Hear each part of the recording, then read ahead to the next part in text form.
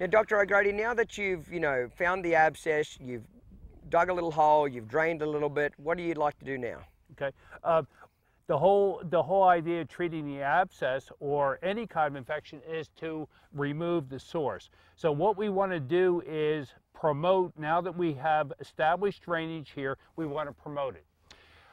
Throughout the years, or as long as I can remember, and it still happens today, the treatment for a hoof abscess was to go ahead, put the horse in a bucket of hot water two or three times a day, put either a bran poultice on or a clay poultice, something that was meant to draw out the infection. And this has been standard horseman care for a long time.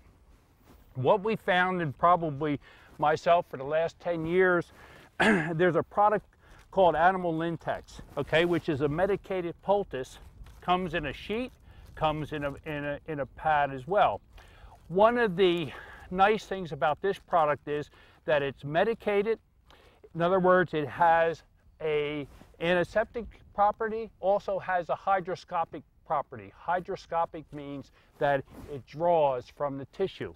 The second thing is that it has a plastic covering so you can heat this up, put it on the horse's foot, and change it at 24 or 48 hour intervals.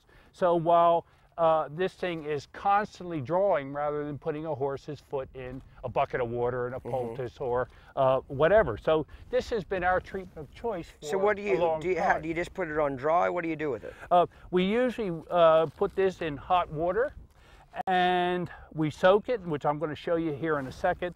We soak it, put it on the on the foot, fasten it to the foot, and uh, we change it at 24 hours or 48 hours.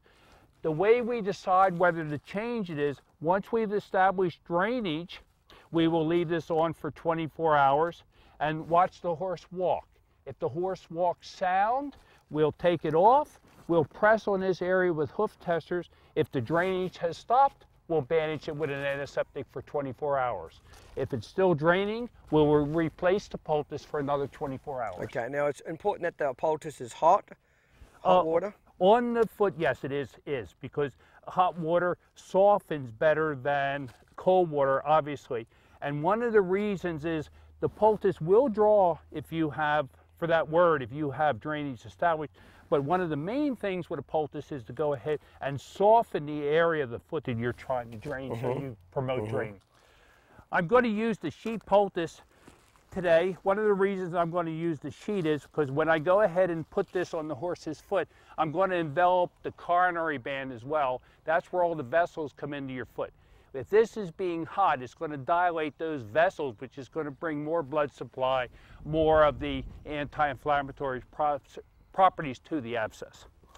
I wanted to show you the poultice itself. You'll see the covering here has, this is the medicated part.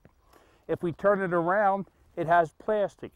The plastic on the outside is going to contain your heat once you put this on the horse's foot. Okay, so the plastic's to the outside? Always to the outside. Okay. Can never go wrong. Okay. I'm going to undo the the product we attach to using uh, the Animalintex is a adhesive bandage vet wrap. Both these products are readily available. And we've used vet wrap for years and years. It's yeah. about the, the best thing you could ever get with a horse, that's for sure. Very, very good. You can pretty much use it for just about anything. Absolutely. I agree with you, Clinton, 100%. Okay. There's two staple things I think that people need to have in their barn, which is vet wrap and corona ointment. You know, you got an animal, it's going to get injured at some time and it needs a bandage. You know, there's two things that I think any barn should have, corona ointment and vet wrap. You're, you're probably right. Okay, Clinton, I'll briefly show you how we put one okay. of these on a horse's foot. we're going to take the sheet poultice and we're going to fold it in half, okay? We're going to put it in the water, okay? And we're going to wait till the bubbling stops. Why is that important? Okay, because that's going to fill up all, the whole poultice with water. Okay, right. Okay? We're going to go ahead and we're going to put our finger inside. We're going to turn it over on itself again, and we're going to push the water out of it. Okay? Okay, now we have a poultice that is completely saturated, plastic on one side. This is the medicated side. So we'll move over to the horse. Do you want me to uh, hold that while you clean his foot out again? How important it is to make sure the foot's real clean? Uh, you want to have it on a clean surface if you can, so the area of drainage is not obstructed by any kind of material in the Okay, bottom. so we're on sand here, but if we were doing this for real, we'd be in the barn on concrete or rubber mat or like Absolutely, that. yes, Okay. sir. As Clinton mentioned earlier, obviously when we, we have a horse with an abscess, we're generally going to be working uh, in the aisle of a barn on concrete or macadam, so it's going Or to be rubber mat, something a lot better or cleaner than sand out here in the arena. Absolutely, but we have the area clean, so we're going to take our, our sheet poultice, plastic always on the outside because that's going to contain your heat. Okay, we're going to come back to the bulbs of the heels. We're going to come up to the front. We're going to push our hand on either side. Okay, now we have a bandage that completely envelops the foot. Okay, we're going to use our cohesive bandage. Okay, and we're going to start almost in a figure eight. Okay, to go from side to side. Once that stuff grips on itself, it's pretty neat. Absolutely. Okay, and then we're going to go ahead. Do you see how I'm, I'm figurating this? I'm going to cross the back, underneath the front, and come up again. Okay, always in a figure eight bandage because what this is forming is a nice seal at the heel so the horse won't lose the bandage. Cross the back, figure eight it over the front, cross the front, figure eight it the other way, go around the back, okay? And we just go in that continual motion until we uh, come to the end of the bandage. You'll see where it's cohesive. Okay, It goes ahead and it seals itself. And then on the bottom of this, we'll put a couple roll, a couple strips of duct tape just to contain the, the uh, moisture within the foot.